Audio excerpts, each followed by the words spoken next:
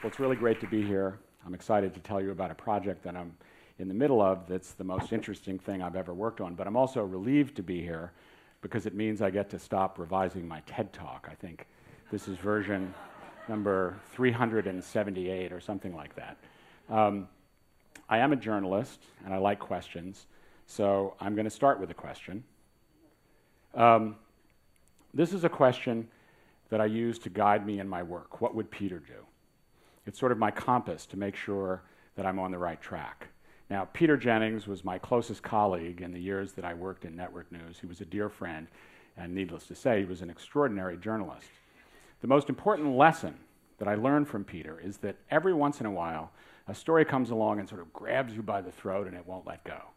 And when that happens, it's your obligation as a journalist to follow the truth wherever it takes you. And the story I'm about to tell you about has taken me to a whole new way to use journalism. And it, needless to say, it started with a question How do you end global poverty? When we were asked that recently, we set out to do what journalists do, which is to ask questions for experts in the field of poverty. And this funny thing started to happen. First, there was an agricultural expert. That's when it happened the first time. And after talking to us for an hour or so about hybrid crops and irrigation and things like that, he sort of lowered his voice like he was about to tell us a secret. And he said, You know, there is one thing that actually works to help reduce global poverty educate girls. And then it happened again, and then it happened again. Experts in all kinds of fields having nothing to do with education told us the same thing. When you educate girls, extraordinary things happen. Now, we're journalists and we did our reporting, and it's true.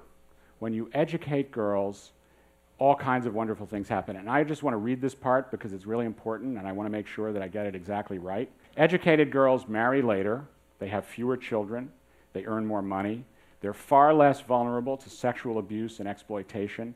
They immunize their children and educate the next generation. And that starts a ripple effect that transforms families, communities, and entire countries. There's a woman we met who is an expert in girls' education, and she said something I'll always remember. She said, Investing in girls isn't just the right thing to do. She said, It's stupid not to do it. And I've always remembered that. Now, when you confront something that's so powerful and so true and yet so unknown, that's what we journalists live for. But the rules of journalism that I grew up with somehow seem not to fit the situation. And that's what makes this so interesting. We had to do something different. Here's what we're doing we created a project called 10 times 10. It's about changing minds, changing lives, and changing policy. Let me start by telling you about the changing minds part. We're making a film, and I just want to say a couple of things about it. First of all, it's 10 extraordinary stories about 10 extraordinary girls confronting extraordinary challenges. That's where the 10 times 10 part comes from. And the second thing I want to say is I've been fortunate enough in my career to do some things that worked out pretty well. But the creative opportunity in storytelling in 10 times 10, forget the issue, just the creative opportunity to make something that's really compelling is unlike anything I've ever encountered in my entire career. Now, you don't have to believe me. Don't have to take my word for it. We're going to make a film. You can see it and decide for yourself. But let's just say that I am right and we make this remarkable film. Then what? Now, in the world of traditional journalism that I've lived in my entire career, that's where we'd leave it. You find your story, try to make it great, put it out there, hope something happens. And even documentaries that are advocacy films, for those films, oftentimes the strategy for impact is an afterthought. And it's really just as much about getting bigger audiences for the film as it is about creating lasting change. Well, we're doing the opposite. We're creating a strategy for change from the very beginning. We've already created it, we're already implementing it, and we haven't shot a single frame of the film. Now, that's where the changing lives part comes in. We did our reporting and we went out and looked for organizations that are incredibly effective, that are already changing lives for girls. And we turned them into our partners. You're going to see four of them come up here.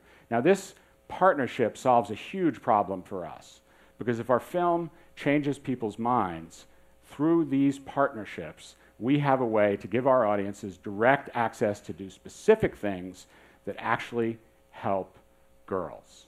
And that's a big departure for journalism because we're giving them our material. We're not just uh, having them do something later. And it solves a problem for them too, because they can take what we give them and do a, a, whole bunch of things. Let me give you two examples.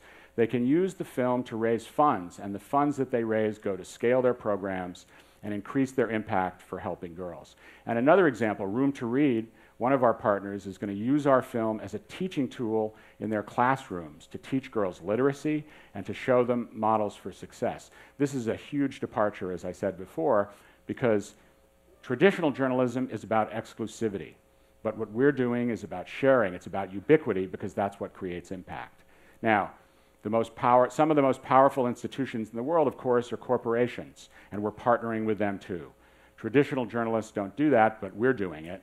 And in September, at the Clinton Global Initiative, we announced a partnership with the Intel Corporation that involves a multi million dollar commitment to help fund 10 times 10.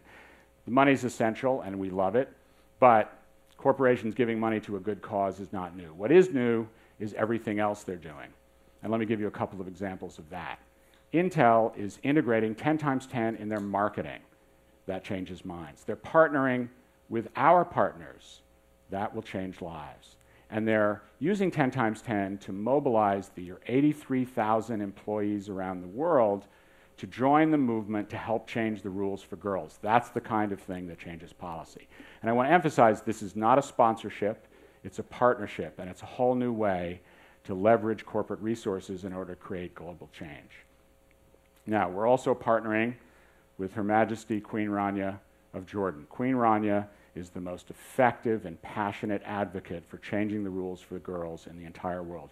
And just the other night, she was at a 10 times 10 event in Los Angeles speaking to some of the most powerful people in the entertainment industry, and I guarantee you they heard what she had to say. So Queen Rania can create change from the top down. She can also create change from the bottom up.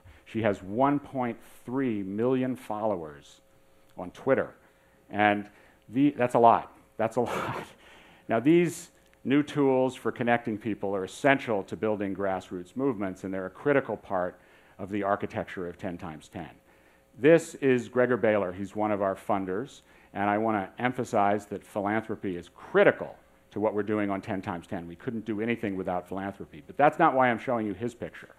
The reason I'm showing you this is he's the former CIO of the NASDAQ and he's contributing to 10 times 10 in a whole bunch of new ways that have nothing to do with money. He's leveraging his relationships and his experience to do a bunch of things for us. And the point is that 10 times 10 is looking for collaborators, and collaborators don't just have to have money. There are lots of ways to contribute to 10 times 10, and I hope you people are beginning to think about things that you can do yourselves. And now, here's the thing I want to point out. I think you're starting to see the architecture of 10 times 10. It's a set of interconnected partnerships designed to create impact. And it's something that has never been done before. And the reason, one of the things that's most exciting about it is that it's scalable.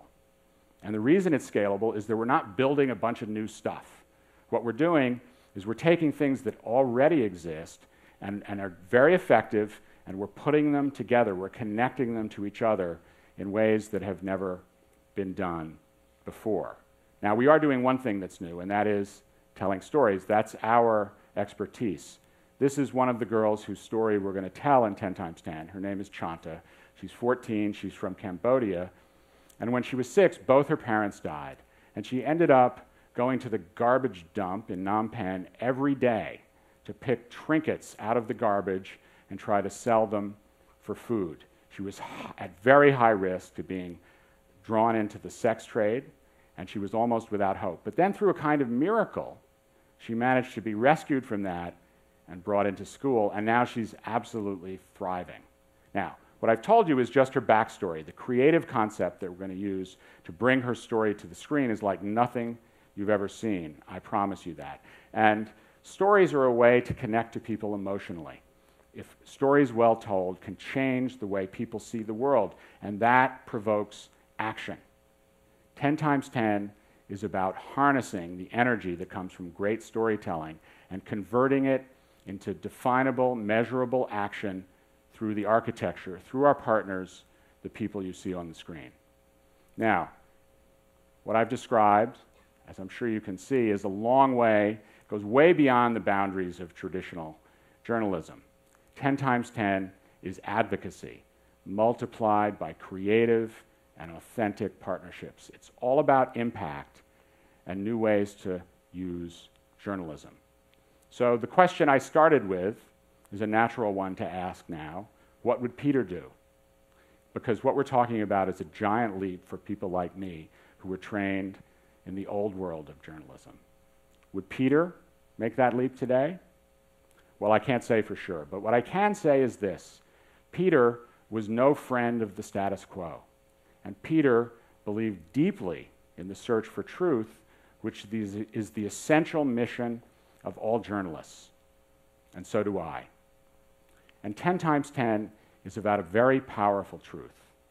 When you create conditions that get girls in good schools and you keep them there through adolescence, extraordinary things do happen. And that's good for all of us.